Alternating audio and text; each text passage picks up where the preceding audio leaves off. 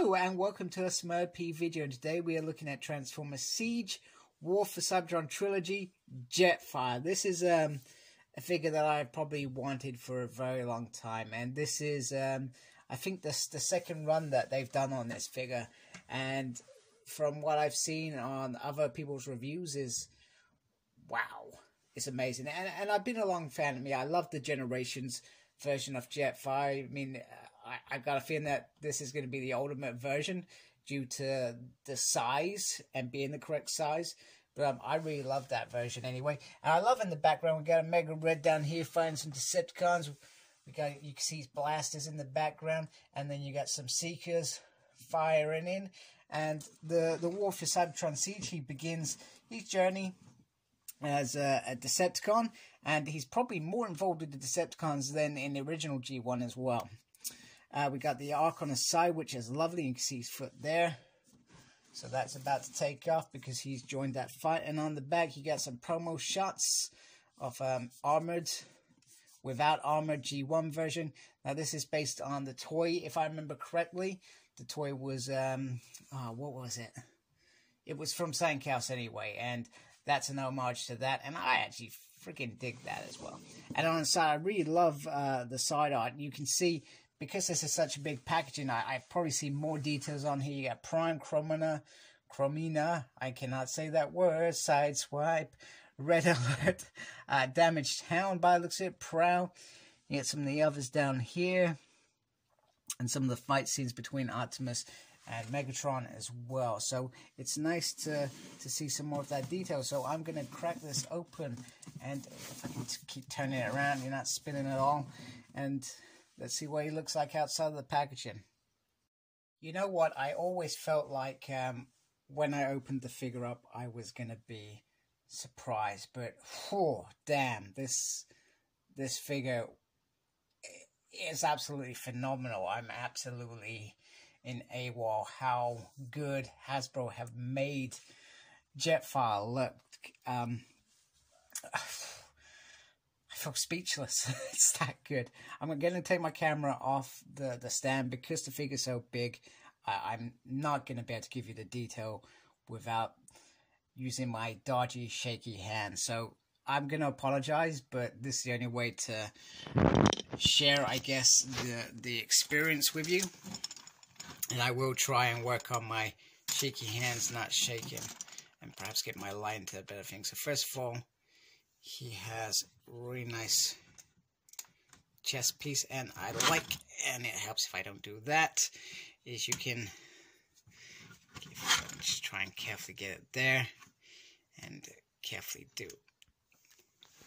Quality is the first word that you can spin this around and show the Autobot uh, symbol as well as the Decepticon symbol because um, in that first show he has that Decepticon sign and he rips it off with contempt for the Decepticons.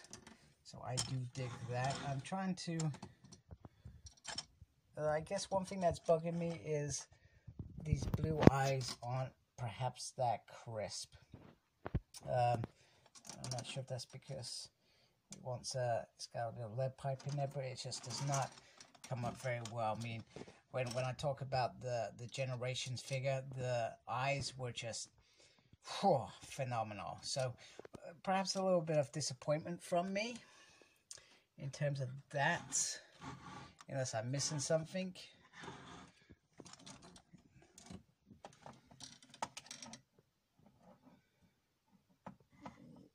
Yeah, you got to put your light on it to get the blue eyes to come out. I'm not a fan of that really because I'm not always going to have a light around.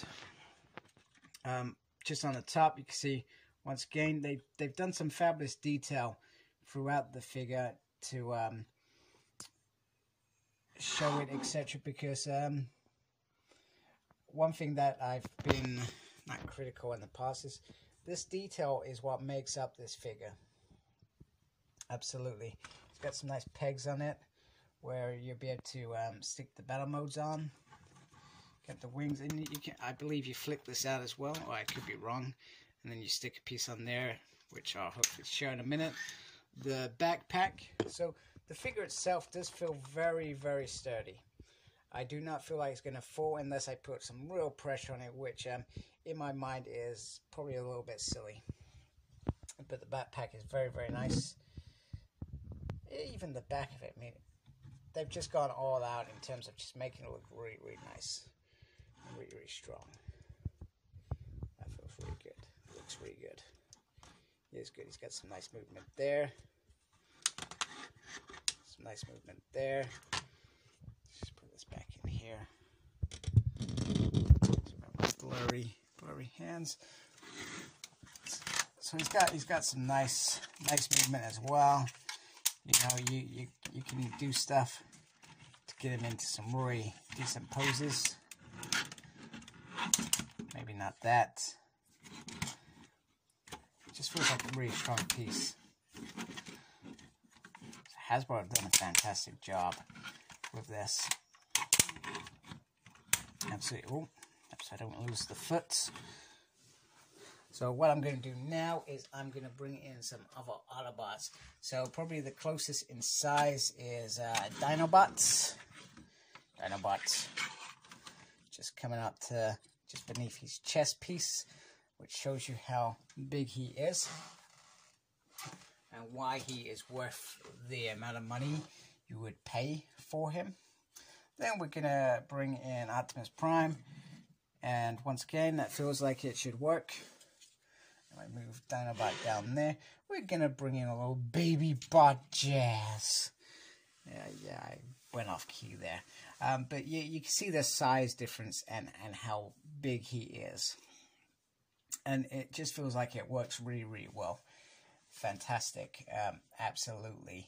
The Hasbro have, I, say this numerous times, Hasbro, in terms of sizes, have done the sizes uh, perfectly because that is how big Jetfire was compared to the other bots. Grimlock was that size, Jazz was that size, and Optimus was that size. They have done a superb job with making that happen.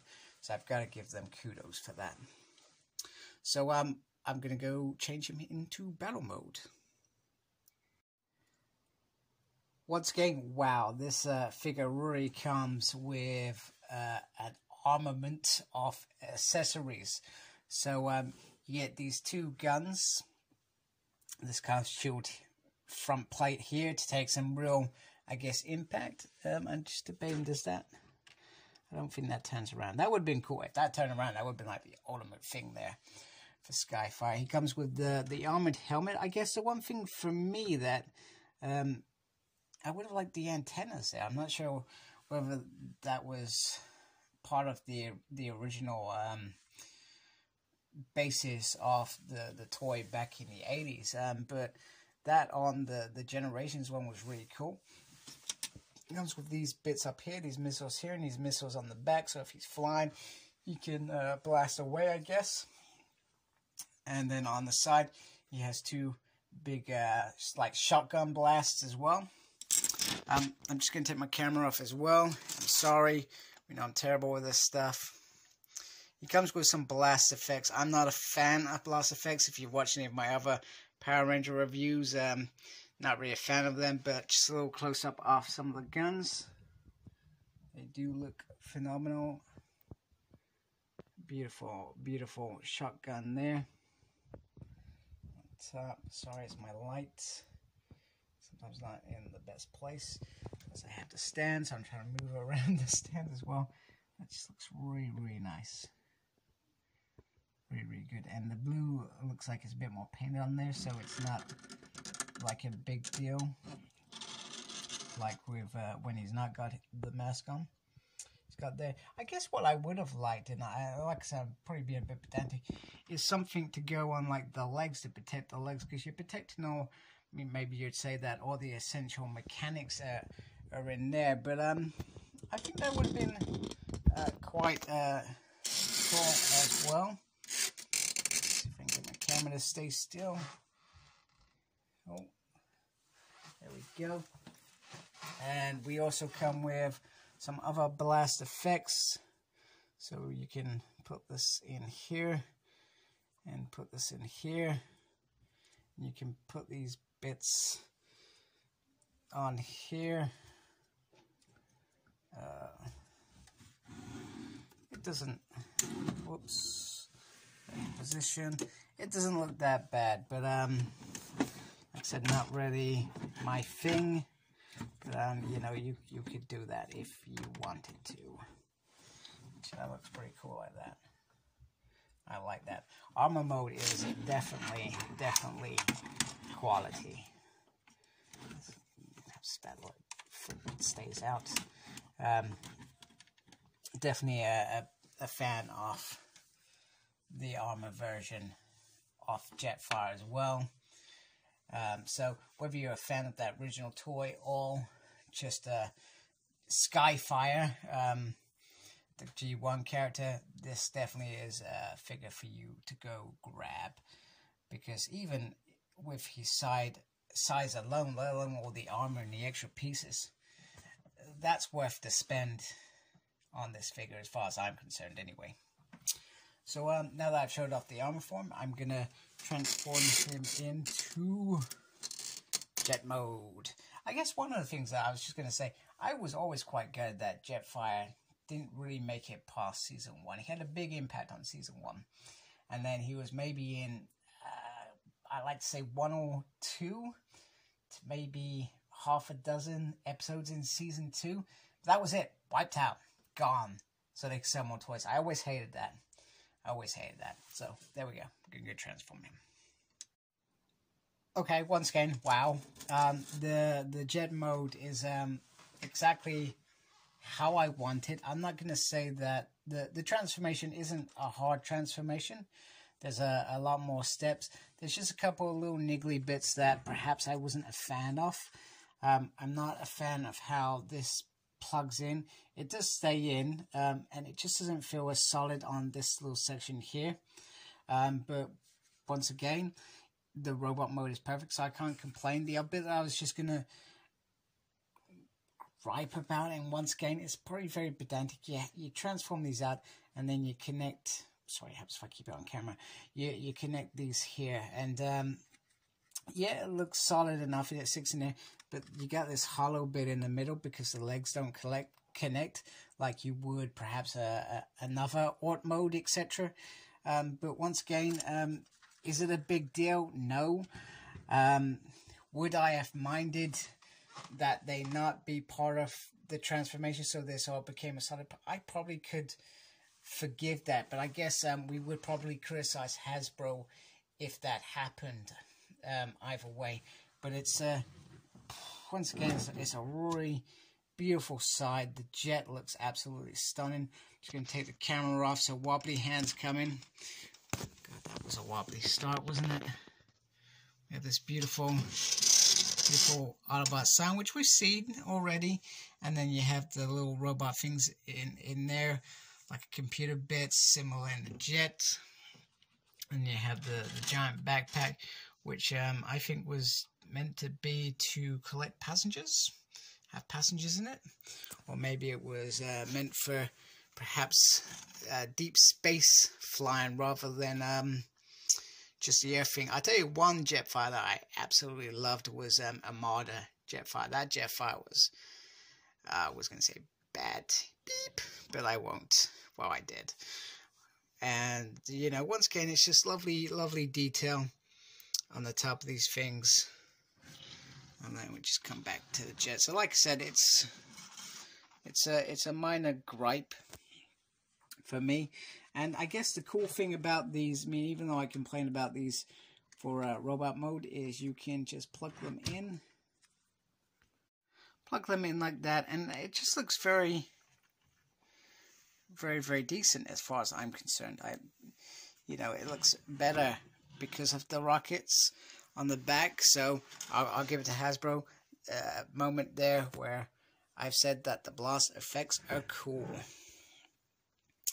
And the other thing you can do, which I am going to try and do on camera, um, so don't hate me, is you've got the, the old armor pack for when he's in robot mode, and it all tucks very, very nicely together. Very, very cool. Um, I love that it all compacts together and can be used for something else. I'm just going to gently slot that on there. And then we've got um, battle mode, etc. But you can also take the guns and you could put them, there's a couple ports down here. I think I would have liked some, perhaps some on the side there, I don't know, once again being pedantic. There's in fact only two there. So, limited on fight mode, but I don't think he really did that. Um, if, if I recall, Jetfire used to just come in, draw the Decepticons away, and, and kind of go. But um, this is phenomenal. Very, very impressed with this. It's a beautiful size.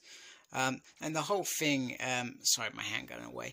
The, the whole figure itself, I feel, is a, is, is a very beautiful piece. And, and most definitely, certainly worth the investment.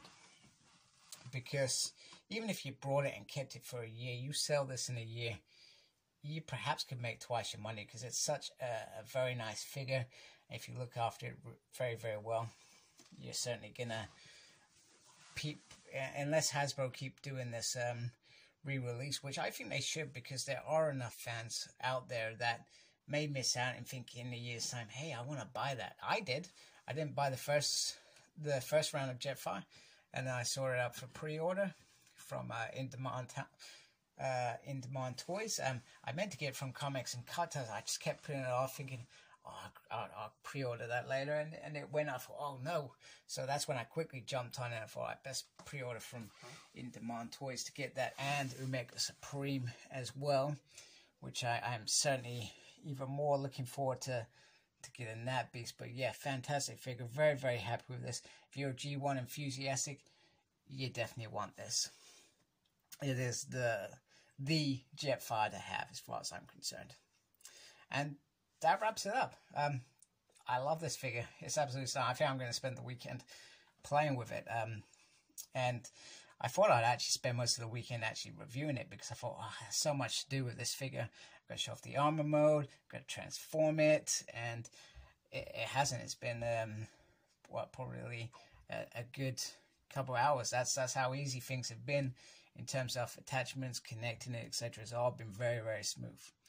So um, I've enjoyed it. I'm very happy to have Jetfire in my team. Or Skyfire. That's I like Skyfire. Skyfire! Thank you. Please like, comment, and subscribe to my channel. Follow me on Instagram, Cyclops Smurd. I'm on Twitter at SmerdP. No idea what I'm doing there. I'm also got a page on Facebook, SmerdP and embrace the geekiness. Thank you for watching. Take care. Goodbye.